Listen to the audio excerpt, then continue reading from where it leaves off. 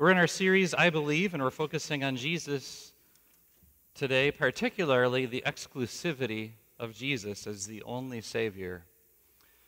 I'm showing you a picture of a Black Lives Matter protest. And there are two people in that picture that I want you to see. One of those people in that picture is a participant in the Black Lives Matter movement, and this person is concerned about uh, the African American race, about his or her people. Concern that they have been subjugated, that they have been treated as a lesser class, that they're being victimized, and this person wants equality. This person simply wants their people, black people, to be treated on the same level as any other ethnic group, no more and no less. Their concern is equality. There's another person in that picture. They too have observed that their people, black people, have been subjugated, have been stepped on, have been victimized, and have been abused. Their concern is not equality, their concern is exclusivity.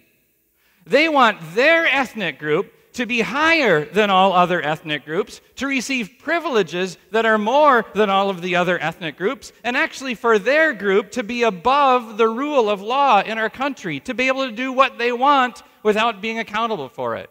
That person's interest is exclusivity. We are special and we deserve to be treated as special. When it comes to our society, one of those people is more helpful and one of those people is more hurtful. When it comes to civil rule and law, what we want to be bound by as different ethnic groups and races and classes and genders is equality, not exclusivity. We don't want one race able to control another. We want equality. The opposite is true when it comes to what Jesus is saying today. Jesus doesn't want equality. Jesus, God did not make you and me to be equal with Him. God is above us, He's superior to us, and so He wants the right to be our Lord and our Savior and to tell us something, and we say, Oh, okay, I'll, I get that, I'll do that, even if I don't understand or agree. So when it comes to spiritual matters, not civic matters, but spiritual matters, we don't want equality, we want exclusivity for God to have the right to be your Savior and your Lord. Now, the difficulty with that, that teaching in, in the Bible is not understanding it. It's not a difficult teaching to understand at all. It's very clear in the Bible. The difficulty is in practicing it. So, if you have your Bible your Bible app, if you turn to John chapter 3, verse 36, you're going to hear some words of Jesus about exclusivity when it comes to spiritual matters. While you're finding that, back in ancient times in the Old Testament, God repeatedly made claims like this one from Isaiah I am God, and there is no other. That says it all. Then Jesus, in John 3, verse 36, says, Whoever believes in the Son has eternal life, but whoever rejects the Son will not see life, for God's wrath remains on them. All others who claim to be God are not God, are counterfeit gods, just like counterfeit money. They look like gods, they sound like gods, people even re- rely on them as gods, but they have no value. All religions who deny Jesus as Savior and as Christ and as Lord and as true God do not have Jesus. All religions who renounce him, all religions who redefine him to be someone other than who he really is, true God and true man, Savior of the world, don't have Jesus and therefore don't have God and don't have the life that God wants to give everyone. They have God's wrath and eternal hell. That's very clear. If you let Scripture be Scripture and Jesus be Jesus, that's very clear. It's not difficult to understand, but it's difficult practice. It's difficult to practice in two ways. Here's the first. When exclusivity is on the table and it involves me, and I'm, I'm part of the, the group that's in, it's very easy for people to feel superior to others and to belittle them and to treat them with, without respect and lower than they deserve, to minimize them and, and to dismiss them. Let me give an example. When, when you're in a competition, maybe you're playing a game with your family or you're in a race and you win, you're the winner, you're first place. First place can be difficult to handle because in our hearts we tend to be proud and we look at everyone else who's not us as losers. That's exclusivity in a hurtful way. Or first class people like us who live in, in first class homes with first class air conditioning and drive first class cars. And we observe people who aren't first class like us. They're homeless people and they're asking for handouts. And one of the thoughts that easily enters a person's heart is, well, I wonder how they screwed up to be where they are, and they don't have it all together like I do. So I'm not like them, and they're not like me. As a matter of fact, if they just go out and get a job, everything would be okay and we stereotype them, or people who are even benefiting from the welfare system in our country, as good for nothing freeloaders, every single one of them, right? With a broad stroke of a brush, we paint them all with the judgmentalism that can come from exclusivity. That's what makes it dangerous and difficult. Let me give you some questions to ask yourself to evaluate in your heart about how you have handled exclusivity as a Christian who believes in Jesus and are on the right side of this game, okay? It's still difficult and dangerous.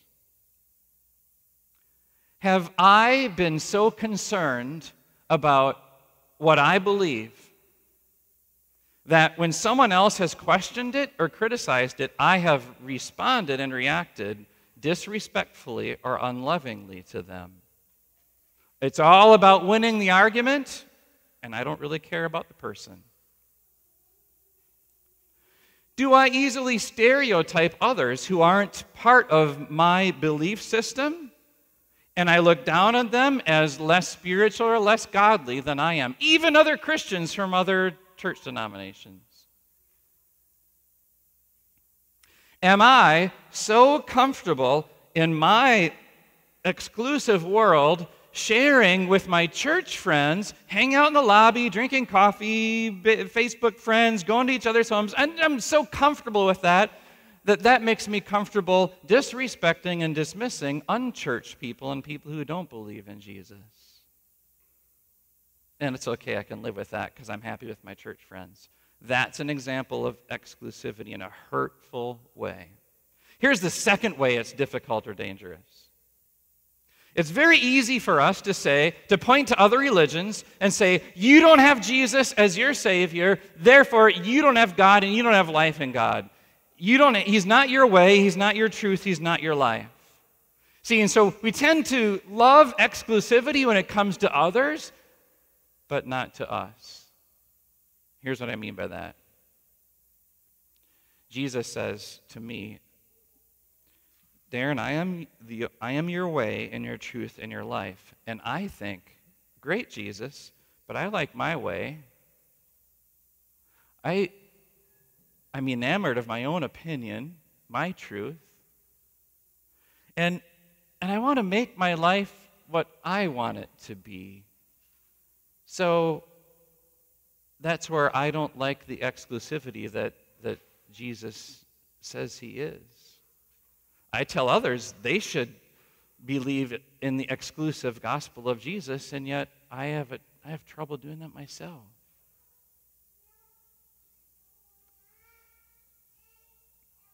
I tell Jesus, you know what? I, I have a way, and it's, it's the way that I like. And, and, and when other people observe me and they see that what's, what's most important to me is my way, how are they supposed to see Jesus the true way? And when people observe me and they, they see I'm just so enamored of my own opinion, my opinion, what I think is golden, and that's what's important, how are they supposed to see Jesus as the only truth. And when they observe me and my life doesn't look any different than all the worldly people out there who don't believe in Jesus, how are they supposed to see Jesus as the only life? Yeah, I say, Jesus, you're the way and the truth and the life. I want you, Jesus, and my way. I want you, Jesus, and my truth. I want you, Jesus, and my life. Jesus will never be one of many saviors, and he will not be second place savior. Anyone who wants Jesus in that way will not have Jesus, and he will not let it happen. So, let's be like Thomas. Thomas, that disciple of Jesus that you heard that we read about, where he questioned Jesus, where Jesus was talking about the way, and Thomas, right, said, Lord, we don't know where you are going, so how can we know the way? You have to understand this. Three chapters earlier in John chapter 11, Thomas pledged his loyalty and his life to following Jesus. Thomas said to Jesus, Jesus, I am willing to die with you.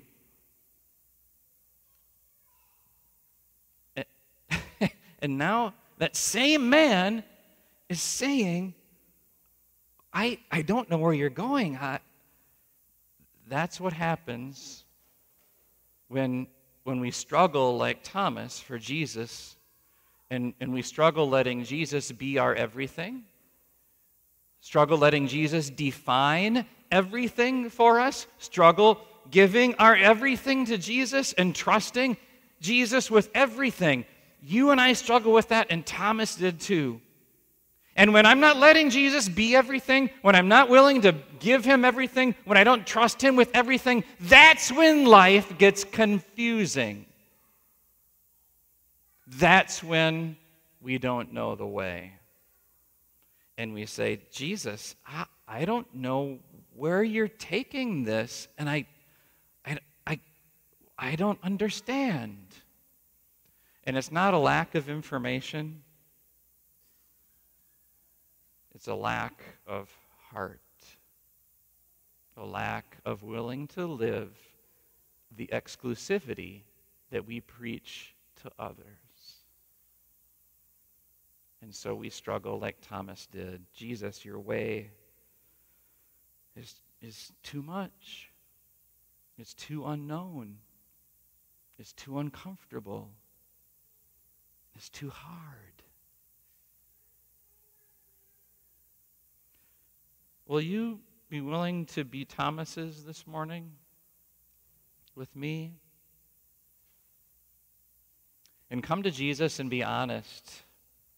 That was the best part of what Thomas said. Thomas just laid it out there. He was straightforward with Jesus, he was transparent with him, willing to confess, willing to ask. So I want you to do that with me now. I want you to repeat after me and be Thomas's with me. Jesus, I am sorry. Jesus, I am so sure of my way that I have lost your way. Jesus, I am struggling. Jesus, I am scared. And Jesus says, I am your way and your truth and your life. I am, when Jesus says that word, he, he says it seven or eight or nine times in the Gospel of John. I am the resurrection and the life. I am the gate. I am the good shepherd, right? I am the way, the truth, and the life. When Jesus says those words, it's a, it's a big ringing bell for everyone to notice that Jesus is saying, I am the true God, because those, that, those words, I am, they reflect the name of God in ancient times, Yahweh in the Old Testament. That's what God was called. The literal meaning is to be, or self existing one. Jesus is claiming to be true God and the only God with those words, with I am. And that's not just a claim, that's a promise. As the self existing one, Jesus is not owned by anyone outside of God. He's not owned by your sin, He's not owned by your fears. Jesus is not controlled by anyone or anything outside of God. He's not controlled by any political candidate. He's not controlled by the economy in our world. He's not controlled by death or disability. He's not controlled by any of the worldly problems that plague our lives. None of them.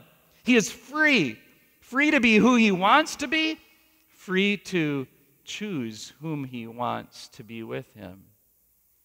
And who is he? And who does he choose? Jesus says, I am your way. And Jesus comes to you and he brings you to the Father. Like a little girl, so eager to bring her daddy to, to show him something, Jesus brings you to his daddy, to your, to your heavenly Father. And he's so eager to bring you there to the Father's love. He's so glad that as you follow Jesus and, and give him your hand and your heart and trust him to be the way, that you're less enamored about your lesser ways and smaller ways. And you follow his way. Keep in mind also that when Jesus says he is the way, he's not just prescribing for you a path to follow, like giving you a crossword puzzle and saying, okay, if you can figure this out, then you're going to understand me and you're going to be right with God. When Jesus says, I am the way. So he'll come to you and say, follow me, but, but there are also times where he won't say, follow me. He'll just carry you. He'll pick you up like a little lamb and carry you because He is the way. And He'll carry you when you're weak and when you're tired and when you're overwhelmed and even when you're lazy and sinful. Jesus says, I am your truth.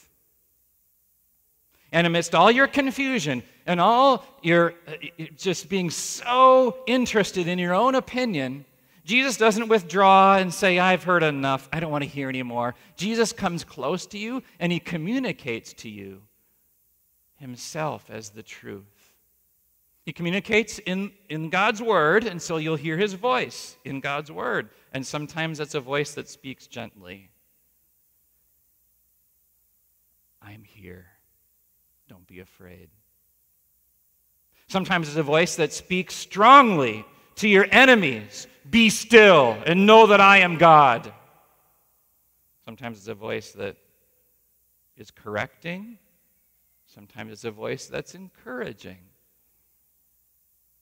But it's always a voice, always a voice in the scriptures that is true and reliable and authoritative.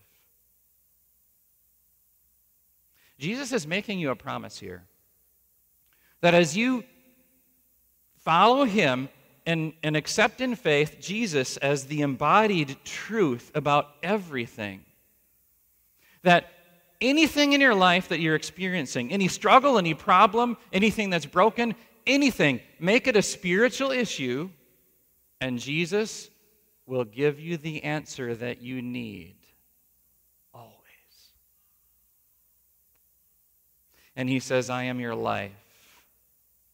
Jesus says, I am, I am your life. He watches us try to, try to piece our lives together, try to, try to make life what we, what we want it to be, what we think it should be, and, and try to find a place to fit him among all our other priorities. And ah, sometimes we're not fitting him in that top spot as priority.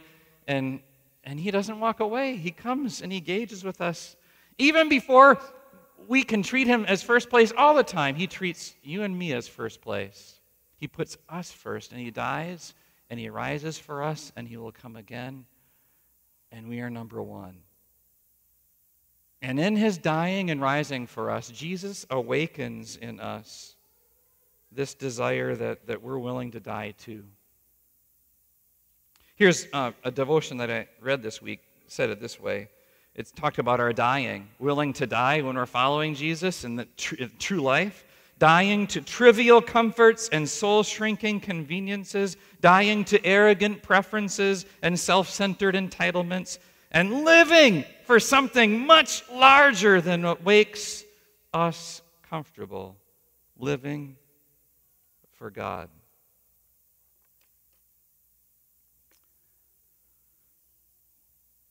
The direction of this my study for this sermon and and the and just the the thrust of it surprised me a little bit as I was putting it together and maybe it surprised you too. I didn't spend so much time today emphasizing how important it is that we support and defend the exclusivity of Jesus as the only, only Savior. That's very true. I didn't instruct you on the best answer that you can give to someone who says, Aren't all religions equal paths and don't they lead to the same God? Why are you so intolerant? I, I didn't give you any instructions or helps about how to respond to people, and yet I did. Because what I wanted to do is through a devotional approach to exclusivity. I wanted you to examine your own heart and then to build your heart up and to build you up from the inside so that you are more firmly following Jesus as the only way, as the only truth, as the only life. And when you are willing to not be so dependent on your way in order to be happy, because Jesus is your way, then other people are going to see that and they'll want Jesus to be their way too. And when you're willing to back off of your opinion as being so golden so that others can see Jesus as the truth, then they're going to want to follow Jesus as their truth too. And when others can see you and observe you and, and what you make important in your home and your heart and, and in your life, and they, observe, they, they see that in you and they see that you're different because of Jesus, they're going to want the life that Jesus offers too. And maybe, just maybe, when other people see us as Christians living and behaving in that way, they won't even need to ask about the exclusivity of Jesus and why he's the only one. Because they'll believe in him just like us. Amen. Let's pray about that. Jesus, uh, we search our hearts today and we confess that we want to be our own way and our own truth and our own life too often in, in too many ways.